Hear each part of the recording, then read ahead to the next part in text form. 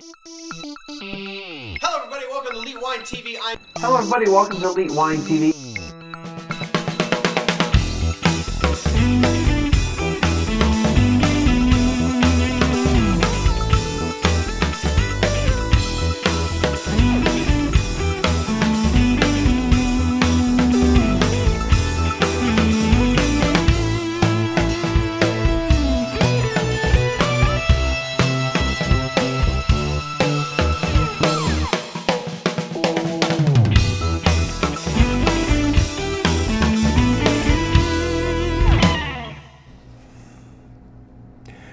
Everybody. Welcome to Elite Wine TV. I'm your host, Mark Fusco, here for another edition of the show. And uh, so, I've got a couple episodes I'm going to do in here before I hit uh, TEXSOM uh, up in Dallas. So, uh, and I haven't done any in a while. So, sorry for the for the little um, like delay, I guess, in in doing these things.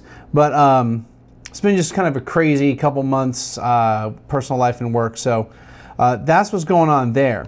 But let's go ahead and get going into. Um, uh, into some wine.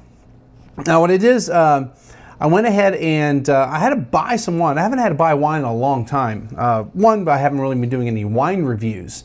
Um, so, two, I've also, the wine reviews I have done, I've actually had a lot of wine uh, that I bought quite a few months ago. So, I actually had to go out and buy some wine yesterday over at World Market. And um, only because, and it's not to sound pretentious or anything, but all the bottles I had in the house that were for review are all bottles that are premium, so $20 and over, or around $20 and over. So I was like, well, I need to get a couple bottles of value wine, so that's what I did. Um, now, I went to World Market. I had actually gone to um, a restaurant uh, uh, in San Antonio called Dough. It's a pizza place. Uh, they they uh, make Neapolitan type pizza and they have to be certified and all that kind of stuff. And they're one of the well, they're the only in San Antonio, and they're one of the few that are certified by the society or organization in Italy uh, or in Naples to uh, for for the type of oven they have to do. So they're one of the few in the United States.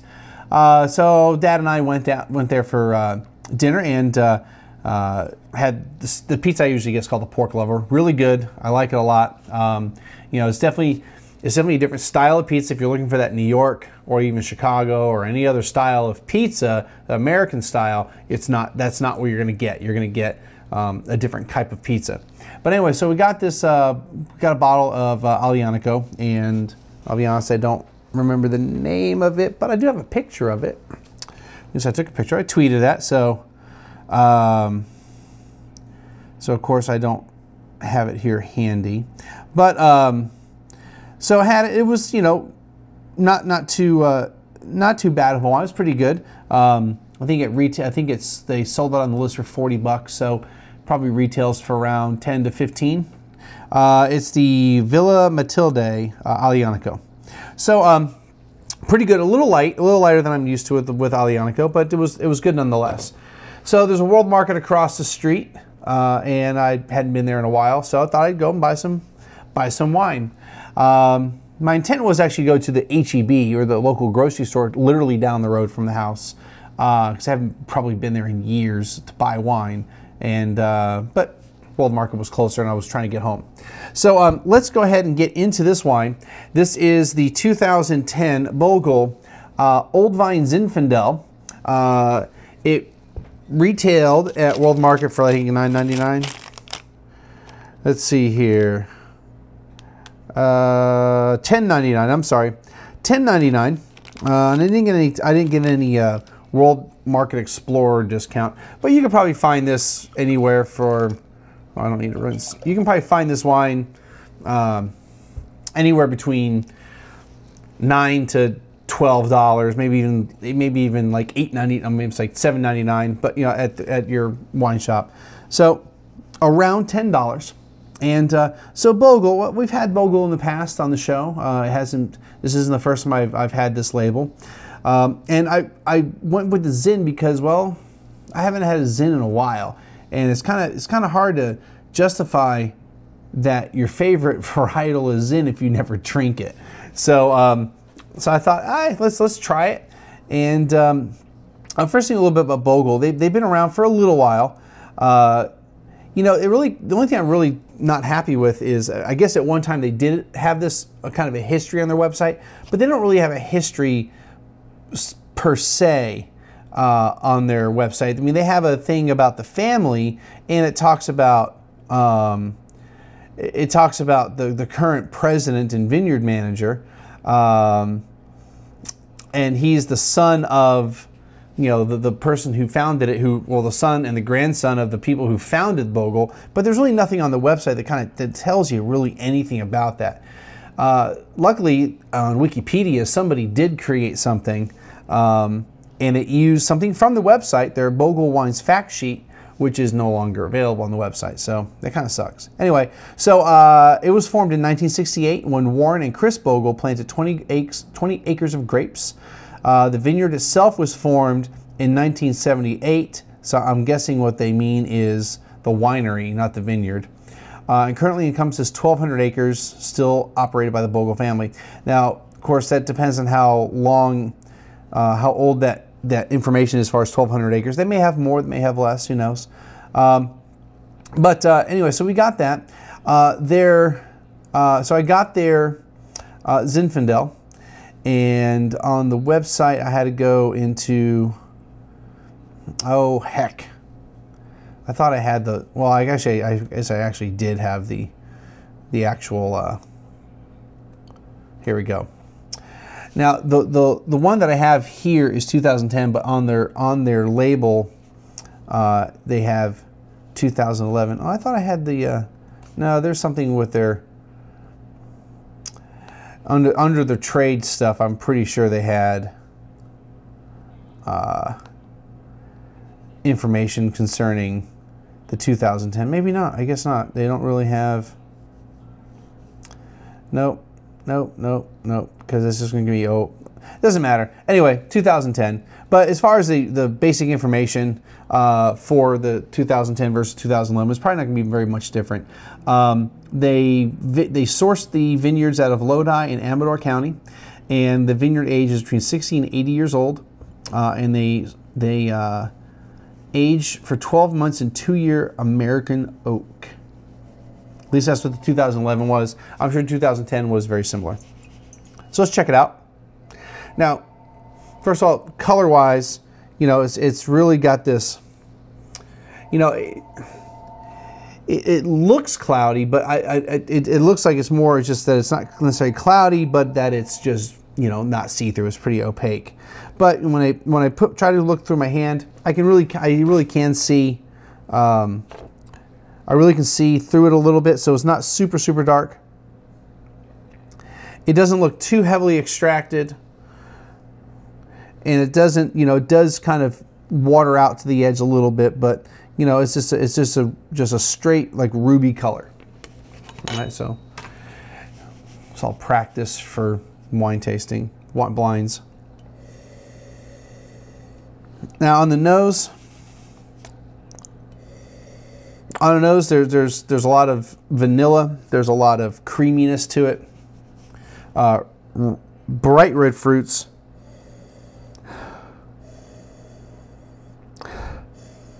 I'm going to say there's also a bit of uh, pepper to it, uh, is, which is one of the things I really gravitate towards with Zinfandels. The spices, really, not not not green pepper type of stuff, but like the like white pepper and black pepper, and then the spices.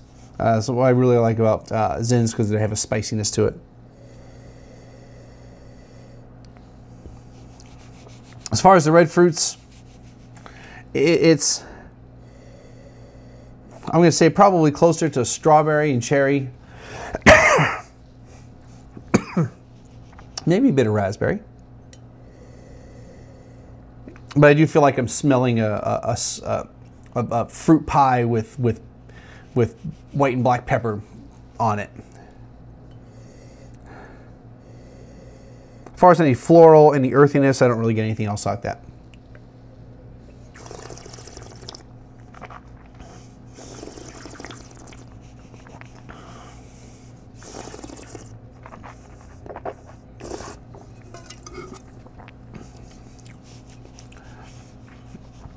first taste is to get the shock out of the palate.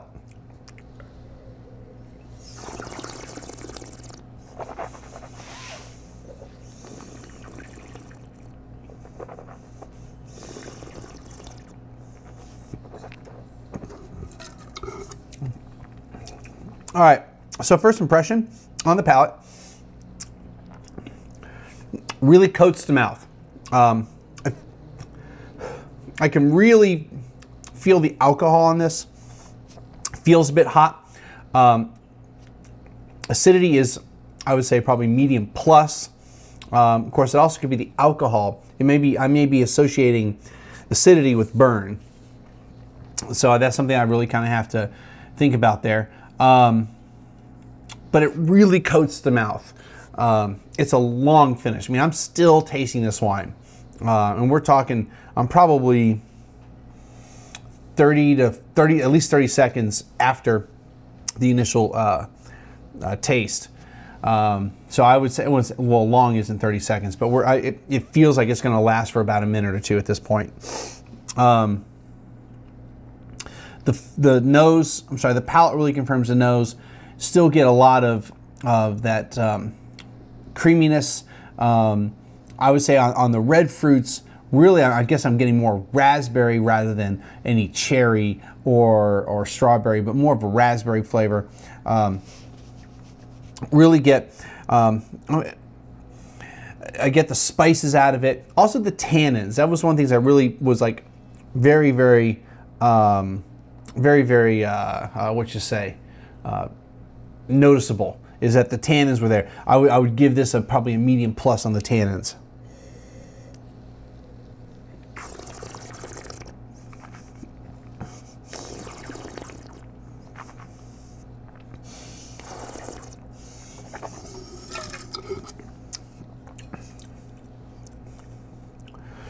Getting another, you know, taste into the mouth. Wine feels like it's calmed down a little bit, probably more that I've gotten used to it, but it's still, I can still, feels a little bit high in the alcohol. Um, so probably in that 14 and a half range, could be 15, but it's probably gonna be listed 14 and a half on the bottle. Means it can be anywhere between 14 and 15%. Um, the tannins aren't as, aren't as pronounced. Again, you know, it's there's a shock to the system that's that that's now kind of settled down. Um, I think it's a really good wine. This is definitely something that I'd want to put with some food. It's it's it's, it's a bold wine. It does hit you in the face, faced face. Um, it's something that really kind of needs some pairing, but it's also got a fruit bombish part to it. Like this is this would definitely not be like mistaken for something from the old world. Um, there's there's a juiciness to it. You know, I feel like I, I feel like I'm I'm biting into the actual fruit, the actual raspberries. Um, you know, it's, it's the, the, finish is still going, and I, my mouth is watering. So this is probably, you know, I said a medium plus acidity. That is probably is the acid rather than the alcohol because alcohol is not going to make my mouth water. Okay, alcohol make you, you know, can make you thirsty, but not like in this sense. So um, I think it's I think it's really really good, especially for something that's a, the 10, you know, the 9 to 12 dollar, 8 to 12 dollar range. Um, really nice, uh, really fruity, uh, and not not sweet, not fruity sweet. Because you have to remember, um, a lot of people when they say I want a sweet wine, well, they want something that's fruit forward rather than literally sweet. Um, the wine is dry. There's no, you know, there's no residual sugar on it. I really like this wine.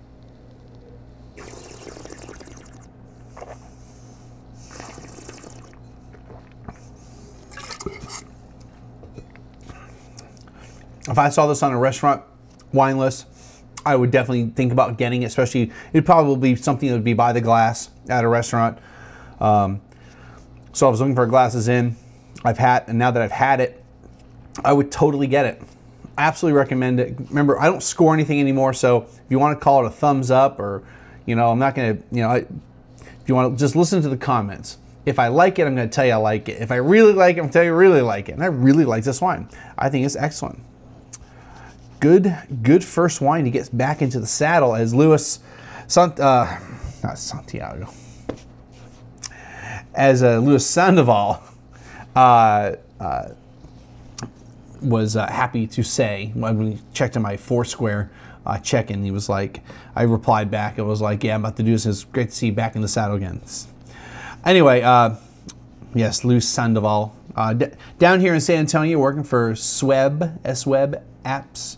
Um, pretty good company, but I, I mean, I don't have, haven't really worked with them, but uh, what I've seen of their stuff, good stuff. So, anyway, check them out.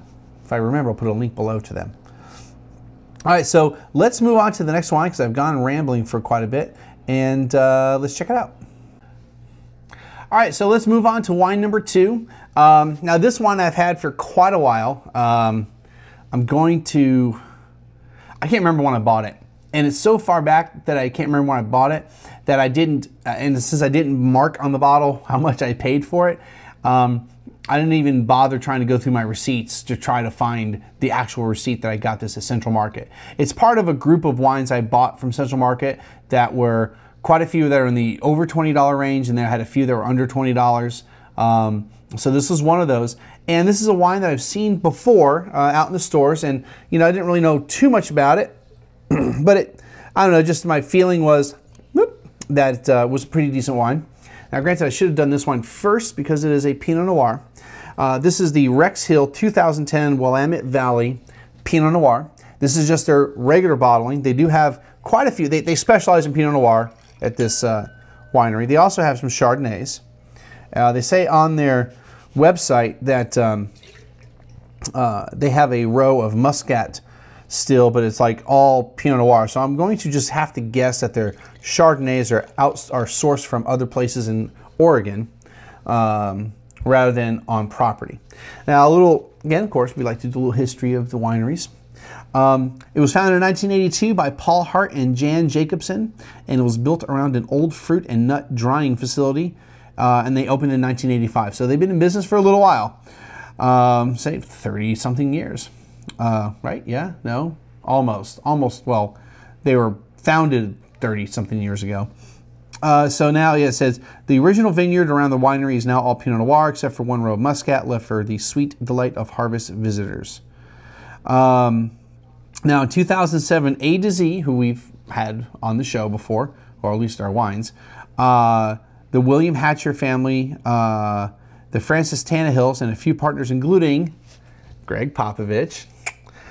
Go Spurs. I still haven't sent my official request to do an interview with him. And I'll be honest, the reason why I haven't been really persistent this this year is, as you can tell, I haven't even done a show. So if I don't have time to do a show, when am I going to have time to try to figure out when I'm going to interview this guy? So I'm hoping that I can do it soon, but you know, the dude's a busy guy, and I already been rejected a few times, and usually the rejection is um, he doesn't he doesn't want to talk about wine necessarily. He doesn't want to come across as uh, snobbish. I think that's exactly how the email was relayed to me, or or how the email said. But you know what? I'm going to use his philosophy of tapping away. 99 times nothing may happen, but that hundredth time I might get the interview. So it may take me 100 times to get the interview with him. Um, anyway, so let's uh, let's go into this. We're not talking about Gregg Popovich and AZ. We're talking about Rex Hill. So um, uh, they've been around, like I said, for a little while. Uh, they specialize in Pinot Noir. Now, I do want to, because I did mention they have Chardonnays. let's just pull up one of their Chardonnays and see if it says anything about. Uh, just says Willamette Valley. There's not much there. Jacob Hart. Pinot. Oh, they also have a Pinot Gris. Okay. Uh, a little quick detail is that most Oregon, most Oregon wines of that grape are Pinot Gris rather than Pinot Grigio because of it just a stylistic thing. Um, oh, I'm just we're just I just saw they have. We're not going to go too much farther into that. Let's get into this wine itself. So, Pinot Noir. Um, it's one of those love-hate relationships. You know, I've found I've had some really, really good Pinot Noirs. I've had some really, really bad Pinot Noirs. And my first, my first uh, experience with a Pinot Noir that I can remember was Pinot Noir was not good. Even though that that winery tends to get decent reviews for their Pinot Noir, or people seem to like it, uh, I could have just it could just been a bad year. I mean, I also have to realize this was ninety. 97 or 98 or 99. I was living in Cincinnati at the time, so all I remember was like, ugh, this wine sucks. And I didn't really have that big of a developed of a palate, so I might think the wine's great now. All right, so anyway, okay, let's take a look at it. Um, you know, definitely, uh, definitely thinner. That was one of the things also about the Zin. I was surprised that it was as see-through as it was, but that's okay. Um, you know, definitely clear. Not doesn't look like it's you know doesn't look like it's cloudy or anything. Um, as far as the red, it's you know definitely a lighter red. It's not as deep ruby or dark ruby as the Zin. It's a lighter one. Uh, it really does go to really does go to a watery edge. So almost with a tint of orange to it. So it's also good to have actual white background to, to look at that. Man, remember I keep saying I, I prefer Oregon Pinot Noirs? This is exactly why. Or as far as New World or United States Pinot Noirs, Oregon tends to be the, the style I like. Uh, can we talk just earthiness, minerality for a moment here? If, if you needed to look up what earthy or minerality, mineral driven wine was in, in a wine dictionary, you should open up this bottle and, and take stick your nose in the glass because that's it, okay?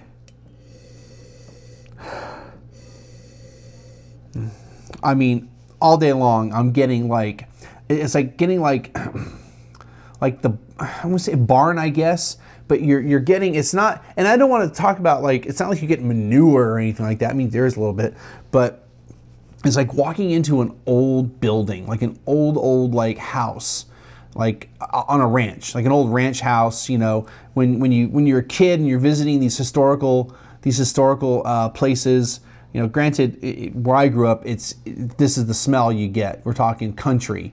We're not talking old historical places in New York City. Okay, you're not. It's not the same type of old musty earthiness. Okay, we're talking wood. We're talking dirt floors, um, that type of thing. Okay, old wood, um, you know, dust, mustiness, and then there's this. There's this fruit, I guess dried fruit, and really kind of a smokiness to it, and just let's really get this.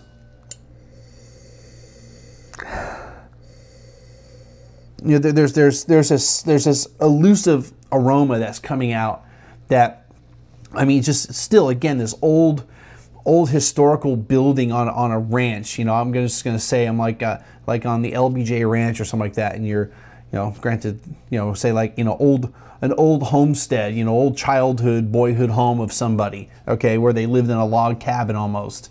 You know, it wasn't log, but you know, old wooden building. But there's this like spice to this. There's this I mean, it, it feels like a combination of, of aromas. I mean, it feels like it's feels like it's pepper, It feels like it's mustard of all things, okay? It's it's or a potpourri, you know, like maybe this is more like it's dried flowers, okay?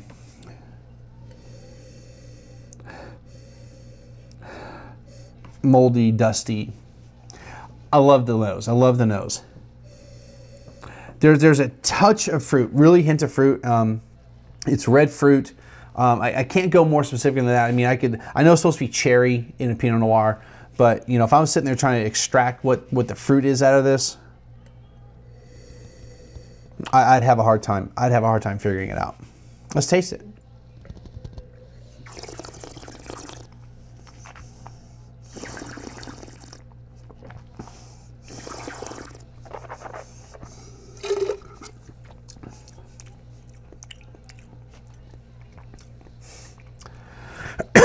It's got all kinds of stuff going on with it. This wine's complex. Um, I'm not saying this is that the Zin didn't have any complexity at all. That was simple, but it really feels like there's all kinds of thing going on, but they're in concert, so it's it's balanced. I really like the wine. First of all, I'll just get that out of the way. Secondly, I forgot to mention what the price was, even though by now you see it seen in the lower third. But for those of you that maybe aren't watching the video for some weird reason, I don't know why. Um, this wine ranges anywhere from 25 to 32 dollars a bottle. And my memory serves this was closer i paid closer to 25 at uh, at heb central market by the way not just heb um, some facts about this. Um, everything is from willamette valley. Uh, it's french oak ages 12 sorry 10 months and 27 percent new barrels 34% one year old barrels and 39% two or three year old barrels, which means 39% in, in technically neutral barrels, even though they are going to impart some kind of some type of flavor to it. oh, I forgot to see what the alcohol was on this wine, on this Zin.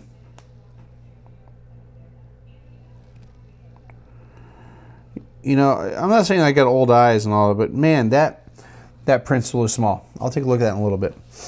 Um, I like this wine. Uh, I'm still tasting it, by the way, just a little bit. It's, it's really starting to trail off. So, talking a nice long finish.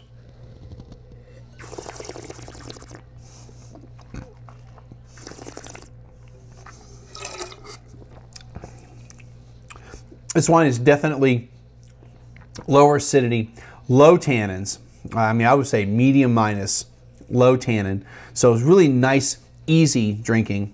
Um, it really accentuates all the minerality, all the uh, not forest floor, but you know, dirt floor uh, in an old woody wooden house. Um, it really has that quality to it.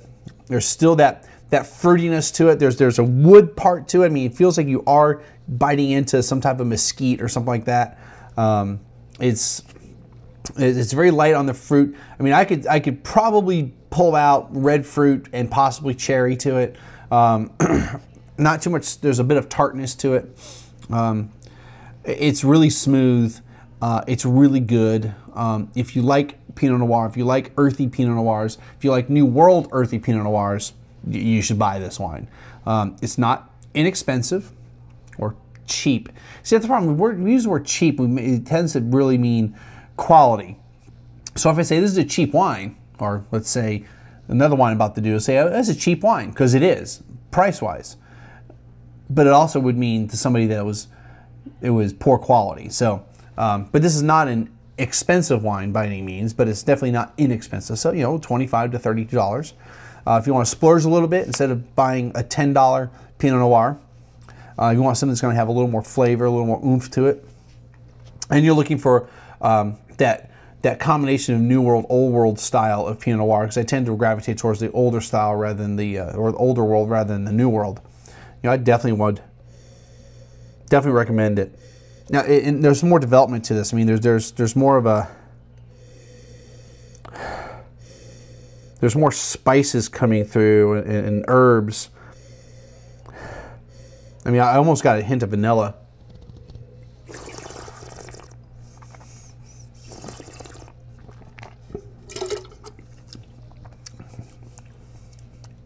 Really good. It's got a nice tartness to it too. Excellent. Well, let's uh, buy it. If you see it, buy it. All right, so we're going to move on. I don't have another wine because I'm trying to go back to the two wines and then educational segment. But what we're going to do this time for this episode is we're going to talk about that movie, that Somm movie. So I'm going to take a break in between my recording and uh, we're going to talk about Somm. All right, time for segment three. Um, this is weird because I've I've done movie reviews on a personal blog before, but I've never done a movie review for, for all of you.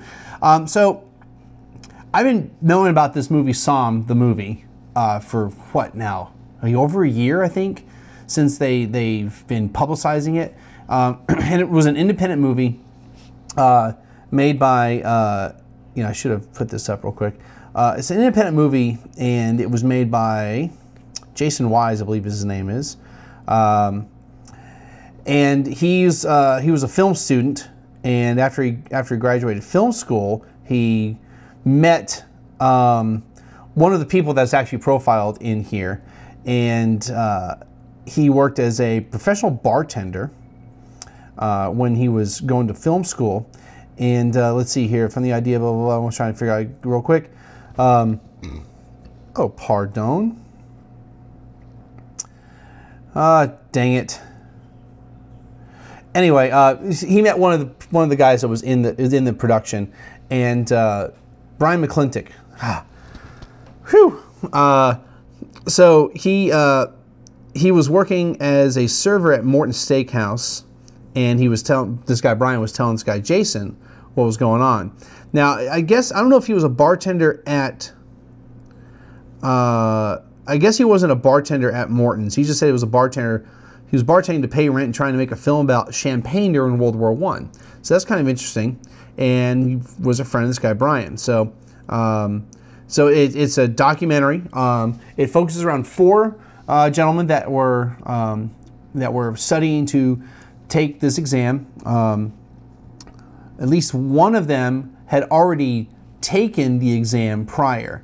Uh, that was DLynn Proctor, and uh, so he was uh, he was taking the stuff that he needed to take. So let's go through what the master sommelier thing is. So for those of you that have been following me for a while, you know that I've taken the first level uh, exam from the Court of Master Sommeliers. Uh, they were founded in uh, England, and there's an American chapter here that was founded, I think it was founded by Fred Dame. He was the first person to pass all three in one shot. At least that's what the film says. But I know that Eddie Osterland was the first American to pass, who I interviewed, first American to pass the exam. Um, and then there's a gentleman in between uh, Eddie and Fred Dame. I can't remember that guy's name off the top of my head. Um, but anyway, so this, uh, they now have four levels. But it used to be three levels. It used to be a level one in advance or, or, or inter, uh, I guess certified, advanced, and master. Now they have an introductory level, a certified, which is I'm studying for. Um, I will be taking that test um, in a month, almost to the day in a month. Uh, we're well from when I'm recording this. Um, so, uh, and I'll be in Houston for that. So, uh, looking forward to doing that. Really, really looking forward to that. Anyway, um, so the master sommelier, and if you watch the movie, they kind of go through this, but they have to know everything from wine to spirits to beer to service, cigars. Um, that's that's the that's the real uh, synopsis of or, or or big overview of what they have to know and, it's to, to, do the master level, you've got to know it all. I mean, you've got to know the, the, the most most littlest thing about wine and service and and all and and beer, liquor, blah blah blah. You got to know all this little, really really obscure stuff. The level I'm going for, I still have to know a lot about the general things. Um, I mean, there's specific things I need to know, but I don't need to get into the minutia of of, of these things. But it still is the same idea. You have a theory exam, which you, um, which the first level is history and geography, which in general the the higher level exams are going to be kind of that way, um, but it's still going to be it's it's still going to be a little bit more than that. But I mean, it, it, all boils down to history and geography. Maybe a little geology involved here, okay? Um, because they're maybe asking, you know, they'll probably ask things about soil types of soil. So we got to add a little geology in there. But that's that's really what it is. Um, then you have a service aspect. Now this requires you to um, pass uh, a mock service. Now the way they the way they demonstrated it in the introductory class um, it looked like a pretty straightforward thing. Um, you're going to have a couple master somms at your table and you're going to do a service and they can do either red wine, white wine, champagne, or you may have to decant, do, do decanting service. Um, so it's, it's, one of those four. You have to do all four. Now I can tell you personally, I'm very comfortable with the first three, uh, red, white, and, and champagne or sparkling wine, I'm sorry.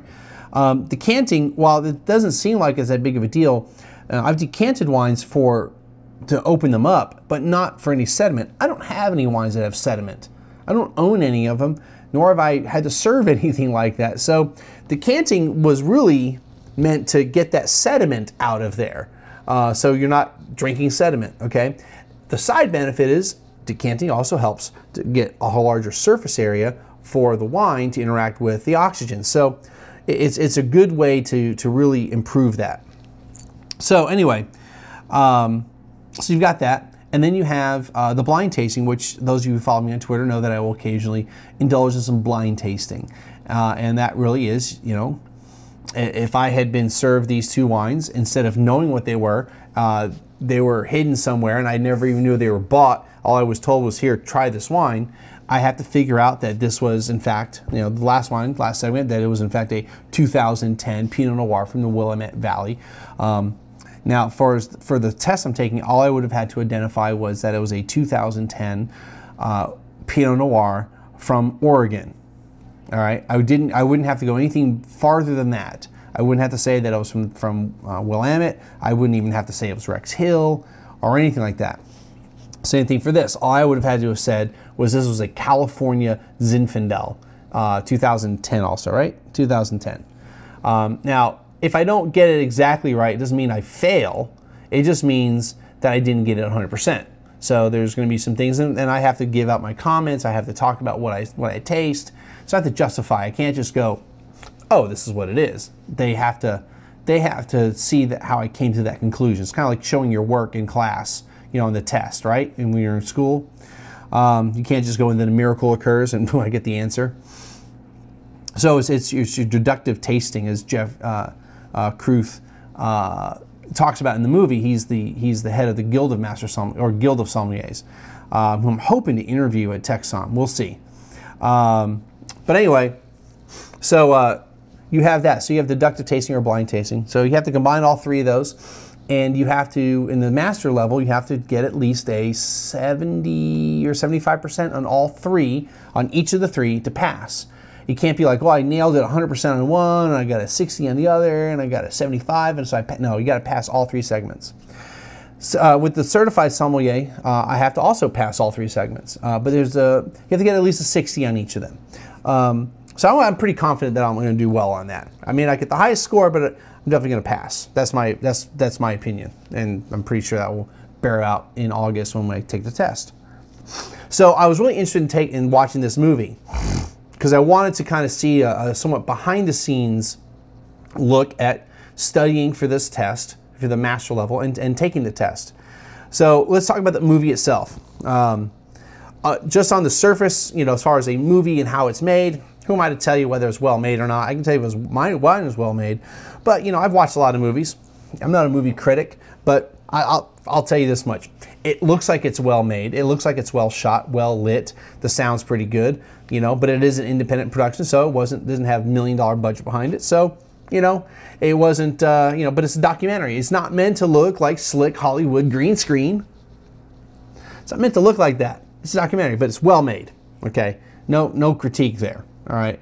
Um, it's it it follows the four gentlemen pretty well. Now there is I will have to say there's a there's a part when they're when they're actually at the Four Seasons Hotel in Dallas to take the test.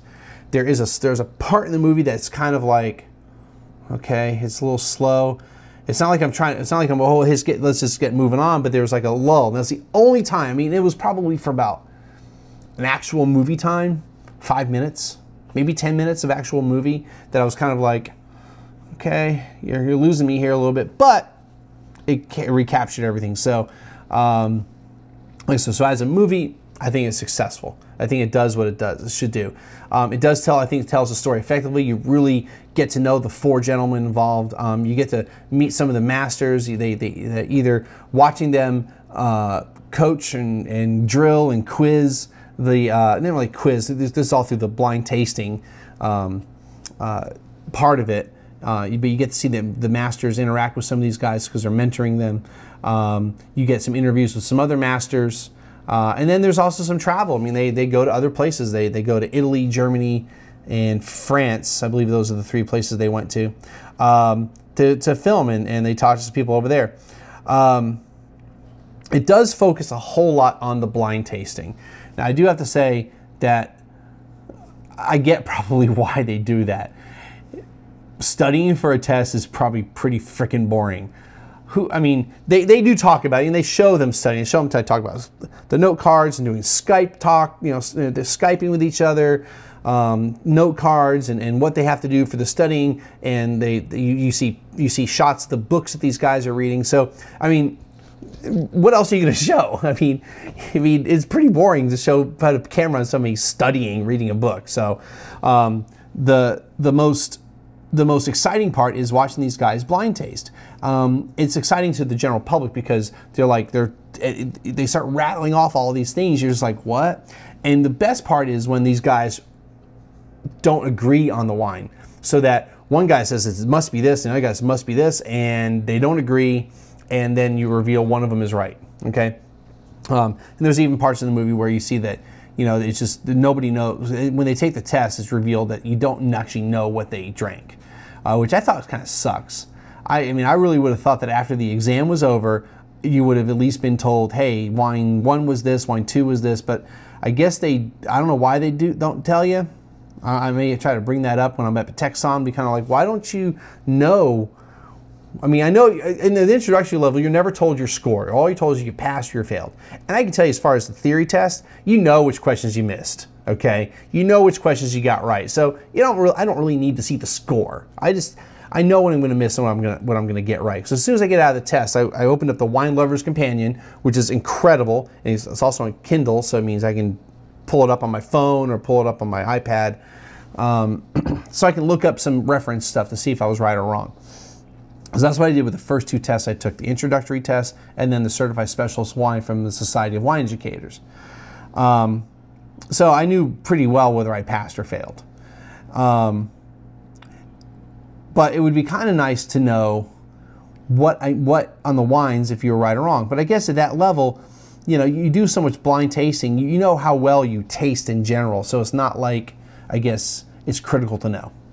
Uh, and then the service part. Now, I do have to say, this is the one part of the movie that I really wish they, they got into a little more. They showed one mock service with DLynn Proctor uh, and Fred Dame and Drew Hendricks. So they don't really say who, the other guy was. He's Drew Hendricks. He's out of Houston. Awesome guy, by the way. Um, but um, I like to interview him sometime too. So Drew, if you watch this, we got to do an interview. Hey, maybe when I'm in Houston taking my test, we can interview. i am going to have all my stuff with me. Anyway, um, so and and all they really showed was DLynn just trying to make the bottle of wine cold, you know. And I'm like, okay, and, and, and they're having fun with it, and they're being very difficult guests you know, and they're they're having a lot of fun with that part. But it's kind of like I, I kind of wish for the average person, it would be kind of cool to see, you know, what what they're going through rather than just that. But again, I guess how how interesting can you make that? You know, the the the most spectacular thing of anyone because I've now that I've done it in front of other people and I've been successful with blind tasting, it really they really are amazed that you can figure out what a wine is. You know, to me, I'm kind of like, well, yeah, I guess it's pretty amazing. But at the same time, if you do it a lot and you know what you're supposed to get out of a wine, you can at least narrow it down. But like I said, you know, when you make a mistake, when you're like wrong, like I've been dead wrong, I sit there and start thinking, well, how did I go down that path? And that was one of the cool things about the movie. Uh, Geoff was there; the four guys were doing a blind tasting.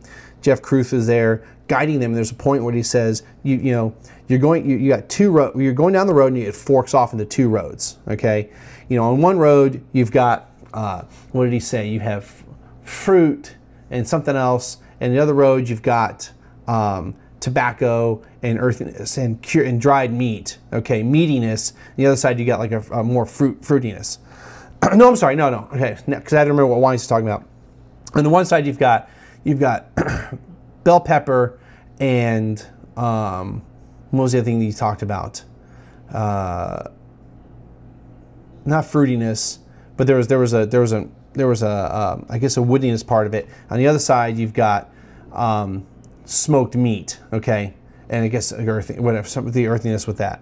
So one's going to take you to Cab Franc, and one's going to take you to uh, Syrah, uh, and one's going to take you to Chinon, and one's going to take you to Northern Rhone. So, and, and the thing is, I know that watching the movie that that conversation happened before Ian Cauble was calling the wine. Now, quite a few, not quite a few minutes later, but yeah, a few minutes later, Cauble was naming the wine and he was correct. Uh, he took it to being a Syrah. And it was what, what they were talking about was these markers.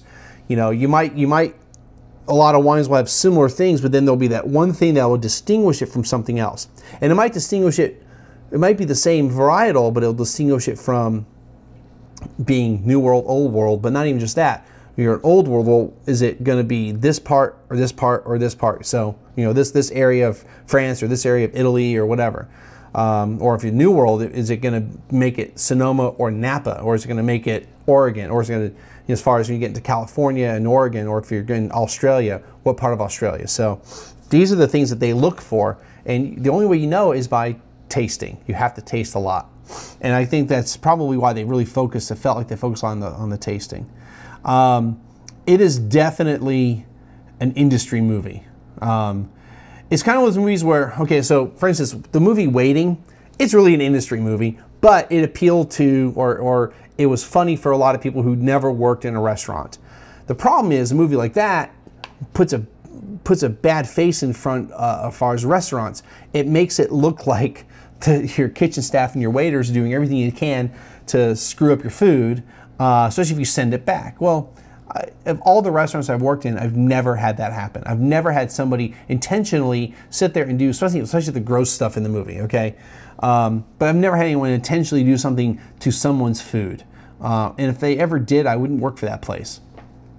And we're not the same thing with Somm, but Somm really is does appeal to the people like me. They're either in, in either doing the coursework or you know in, in the process of, of taking these exams, or someone who's looking to take the exams. For your average person, it's it's a it's a nice glimpse into what they do. You know, the, one of the taglines is the hardest test you've never heard of. You know, and I do believe I do believe it is. Um, wow, I've really droned on a lot about this movie. Let's just wrap it up. I, they, one, first of all, they sent me the they sent me the trailer to download so I could use clips of it. But I'll be honest, the trailer itself, it, there's nothing clippable in it. It's a bunch of clips anyway. So uh, if, if, you want, I'll put a link to the trailers you can find. Okay. Um, I'm not going to add it to my my my video file because it's not almost three more minutes, so I'm not going to add it to mine. Uh, watch the trailer. I'll put a link, like I said, to where the, you can find the trailers. Um, it gives you a general overview. Overview. Um, they weren't they weren't going to give me permission to clip any parts of the movie. Uh, I really wish I could have because it'd been kind of cool to talk about these these parts of the movie and then show the clip. The problem is that the the uh, uh, trailer doesn't have any of the clips I would want to talk about anyway, or there's such a small thing you can't you can't tell what's happening. So, but you know, hey, that's I'm not again I'm not some official movie critic, so I'm not going to get anything other than just like, oh, cool, we hope you review it, and uh, well, here's the trailer. Without me breaking the DRM going to jail for it, so I'm not going to do that. Sorry, guys. Um, but see the movie. If, if you've been on the fence about seeing it, do it. You can get it off of iTunes. I bought it the day it was available. You can now rent it off of iTunes. Uh, if it's playing in the theater near you, do it. If you're going to TEXSOM and you haven't signed up for uh, a different seminar like I did, whoops, sorry, sorry, microphone uh, like I did, then um, go see the movie. Because during one of the regular seminars and it, it, wasn't listed. And I'll be honest, I've, since I've already seen the movie, I probably wouldn't go watch the movie again at TEXSOM. I would rather go listen, I'd rather go to one of the, the seminars. And this is not, a, this is not a, a, a dig at the movie, it's just that's what I would do. Um, if I hadn't seen the movie, then I would probably at least seriously think about seeing it at TEXSOM because it'd be kind of cool to see it with a bunch of other Somms. But since I've already seen it now twice, um, I don't think I really need to watch it again with a bunch of Somms. I'd rather, you know, go to a, a seminar about something else, or actually two seminars about something else. Uh, but yeah, see the movie. Uh, that's going to wrap it up. Uh, another long video. Hopefully, the next episode won't be that long, um, but we'll see. Uh, real quick, uh, I did get a new wine wine tool. I'll again link the website. Uh, so go down, go down to the website, click the link to this, go to the Amazon store. Bought it specifically for the um, uh, test, the certified test. It's a nice heavier feel than one I have. The other one I have, I had the same one at work, and the the worm busted opening a bottle of wine. So I do not want to bring that that wine opener to my test uh, and have it break in front of me. I mean, it'd be great to see how I recover from it, but I don't. But I, I don't think rushing to the back of the house to get a to get a pair of pliers to to uh, finish opening the bottle would, would do good. Anyway, uh, that's going to do it for now. Uh, as always, thank you for stopping by. Click the links above to friend me up. Click the link over here to donate some money so I can pay for some more wine. And uh, we'll see everyone again next time.